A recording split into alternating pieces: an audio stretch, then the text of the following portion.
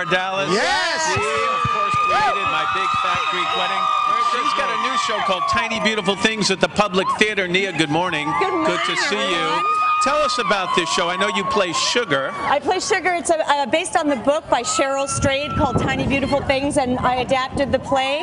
And we are doing it at the public, and it's the best place to work ever. And it's a tough ticket to get. This thing, I people know. are lined up to see this, it's right? sold out, but I have a tiny, beautiful stash of tickets. For that's very nice. Hey, but I didn't realize my big fat Greek wedding started out as a, as a stage play. yeah, I had uh, written the screenplay and couldn't get an agent, so I just got on stage and did it as a play. So that is that your first love, It being is on my stage? first love. It's true. I do like it a lot. Plus musical theater, as you know. What are your plans for the holidays? I'm coming to your place. Perfect. Yeah. Didn't tell. Yeah. Bring beer.